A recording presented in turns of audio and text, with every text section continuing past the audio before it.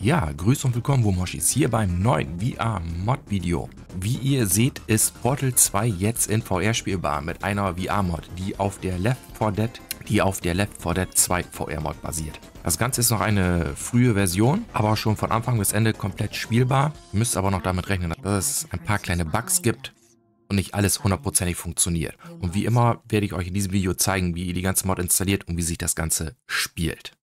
Bis gleich.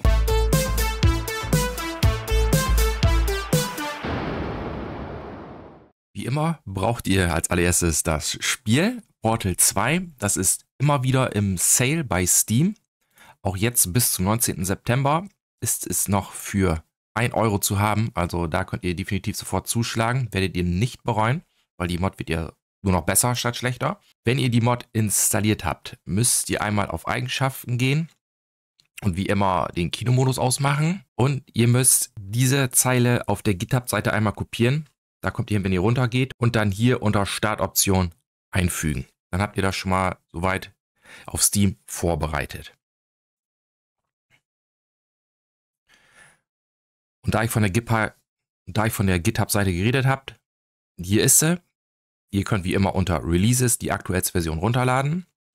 Stand jetzt 011.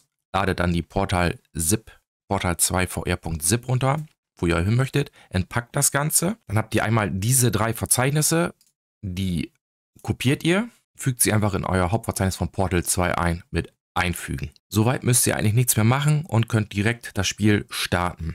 Ihr könnt aber noch in einer Config-Datei ein paar Sachen ändern. Dann geht ihr in das VR-Verzeichnis auf config.text und dann könnt ihr noch einstellen, ob ihr mit Smooth Turn, Snap Turn spielen wollt, wie schnell ihr euch drehen wollt. Und für mich persönlich wichtig, ob ihr im Linkshänder-Modus oder Rechtshänder-Modus spielen wollt. Ich muss jetzt ganz ehrlich sagen, die anderen Werte, ich sehe gerade, 6 Dorf ist aus. Das habe ich noch gar nicht, teste das mal mit an. Ich habe das vorher nur mit Off getestet. Ich teste das jetzt mal mit an. Das könnt ihr auf True stellen. Ich weiß jetzt nicht, wie gut sich das spielt. Äh, hat Always Visible ist wahrscheinlich verständlich, ob man das hat immer sieht oder nicht. Aim-Mode muss ich ganz ehrlich sagen, weiß ich jetzt nicht.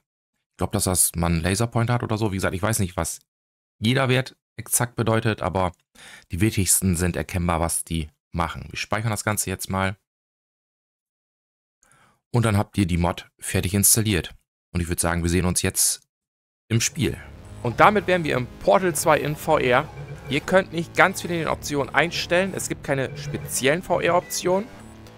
Ihr könnt natürlich aber eure Videoeinstellungen anpassen. Bei weitere Grafikeinstellungen könnt ihr halt eure Details alles einstellen, was ihr möchtet. Anti-Lasing, anisotropisches Filtering, Details, etc. pp.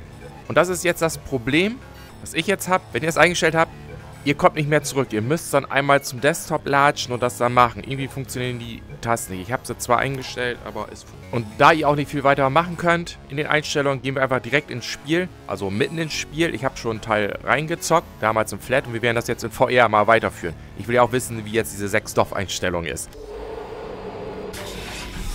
So, man sieht, dass ich jetzt zu hoch bin. Dann drücken einfach den äh, Thumbstick rein und kalibrieren uns einmal neu. Ja, das spielt sich schon viel besser als vorher war. Vorher hatte ich wirklich in drei Dorf gespielt. Der beinhaltet Emanzipationsgrills. Weißt du noch? Ich erwähnte sie im letzten Testbereich, in dem es keine gab. Ja, ja.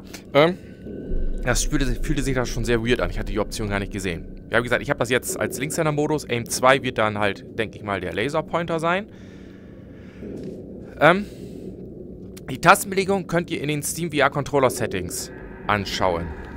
Ich glaube nicht, dass er auf der GitHub-Seite 1 hatte. Ihr könnt die auch wieder individuell anpassen, wie ihr möchtet. Zum Beispiel Primary Attack war vorher rechts auf dem Trigger, ist jetzt links. Man muss sich ein bisschen da reinfuchsen. Aber wenn man das einmal gemacht hat, dann hat man den Dreh auch raus. Deswegen, ich habe auch so ein paar Sachen für mich angepasst. Zum Beispiel die zweite Funktion des Portals war auf Grip. Das ist bei den Index-Controllern ein bisschen suboptimal. Das habe ich dann jetzt hier bei mir auf, aufs Trackpad gelegt. Und so, so könnt ihr dann die Sachen individuell anpassen, wie ihr möchtet. Ist ein bisschen vom Blei, aber wenn man es einmal gemacht hat, dann geht's. Dann könnt ihr jetzt hier halt primär, sekundär habe ich da jetzt und dann... Ja. Schauen wir mal, ne? Und ja gut, das Spiel ist schon älter, aber das ist wirklich knacke scharf. Das ist nicht irgendwie blurry oder hässlich. Das ist echt richtig gut aus. Das sieht richtig gut aus. Oh nein, schon wieder die Turbinen. Ich muss gehen. Warte. Der nächste Test bedarf einer Erklärung. Hier die schnelle Version. Bitte, falls du Fragen hast, stell dir das, was ich gesagt habe, einfach in Zeitlupe vor. Teste auf eigene Gefahr. Ich bin gleich zurück. Äh.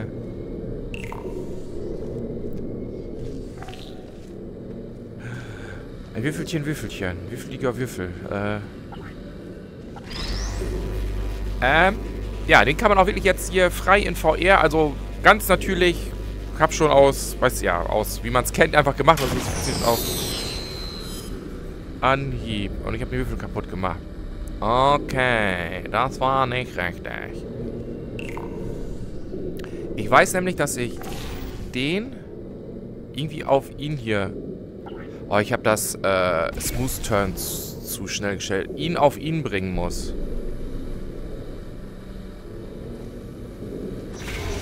Oh, ich hätte nicht das Ja, und wenn man durchs Portal geht, dann löst er die Portale. Also wenn man durch die Schranke geht, geht das... Oh, ich bin sofort so richtig hart Brain AFK, ne?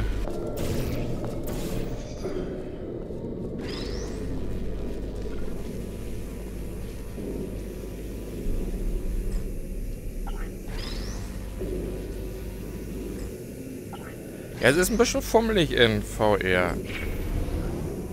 So.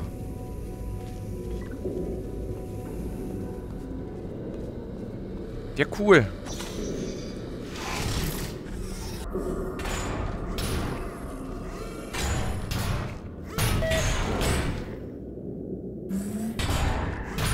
Ja, ist ja gut.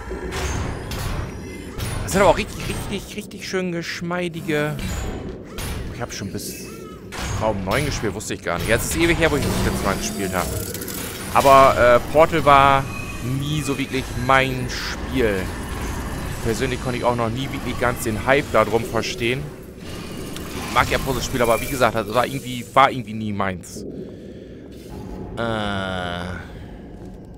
Hey, hey, ich bin's. Mir geht's gut.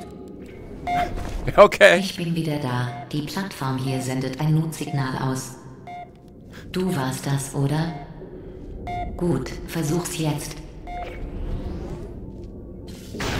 Glaubst es nicht? Ich lag da einfach so rum, dachte schon, das wäre meine... Hm, die Plattform kann für jemanden deiner Größenordnung nicht kalibriert werden. Ich füge dem Maximalgewicht ein paar Nullen hinzu. Du siehst übrigens gut aus, so gesund. Versuch's jetzt. Das ist auch eins der wenigen Spiele, wo ich sagen muss, dass die deutsche Synchro wirklich absolut geil ist. Welcher Vogel ist das zu fassen? Und dann hat er... Du hast wohl die Ladekapazität überschritten. Gut, dann senke ich eben die Decke. Ah, geil. Jetzt. Ah, fuck, jetzt kann ich nicht mehr mit ihm. Ah,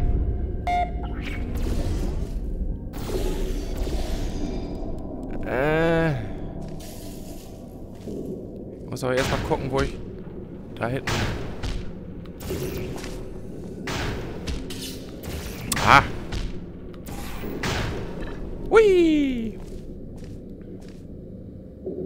Ja, und mir wird da nicht schlecht von. Also das ist das nächste. Also das ist, das läuft echt super fluffig. Kann ich so weit springen? Nein. Oh, ich habe mich erst konzentriert. Das wollte ich nicht. So. Oh, das war sehr unspektakulär. Ich muss hier von irgendwo höher runterkommen. Äh, da ist ein Knöpfchen.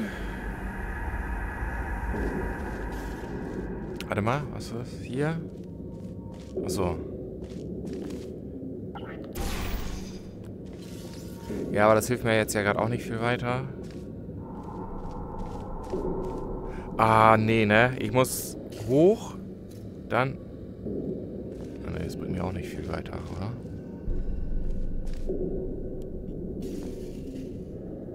Doch, tut's. Pass auf. Pass auf. Pass auf. Pass auf, doch!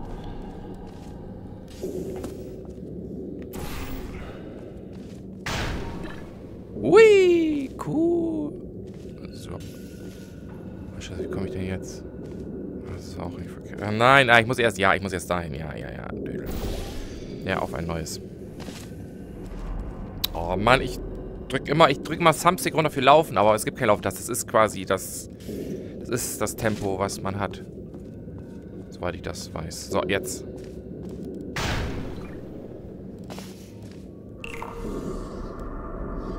So, jetzt muss ich die Kiste haben.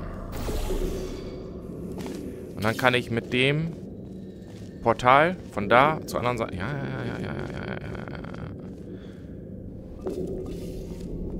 Das ist der Plan.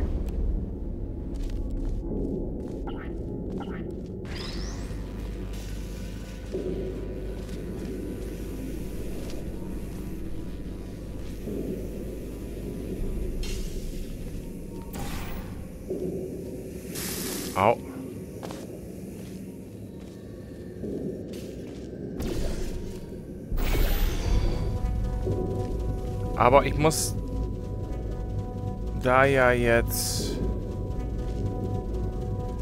hoch. Das kann ich ja aber ja nicht, wenn ich hier Portal habe und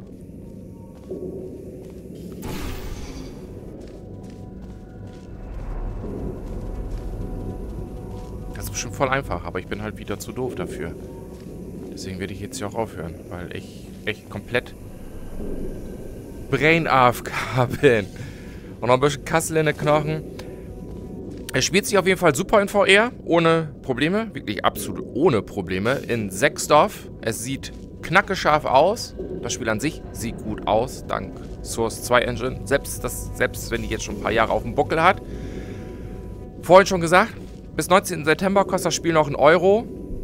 Schlag zu, wenn ihr einen absolut geilen Puzzler haben wollt, der jetzt nicht persönlich mein Geschmack ist, aber halt, ich weiß, dass es ein absolut geiler Puzzler ist, dann testet es, ihr werdet es definitiv nicht bereuen. Und das ist noch gerade eine frühe Version. Der wird dann noch weiter patchen, zum Beispiel den Knopf oben oder Bedienelemente, die waren, ging vorher noch in der ersten Version. Das hat er direkt gefixt. Ein paar Stunden später, Tag später war Update raus und dann konnte es jetzt mit interagieren. Ja, klare Empfehlung von mir definitiv. Und wir sehen uns beim nächsten Video. Tschüss, tschüss, tschüss, tschüss.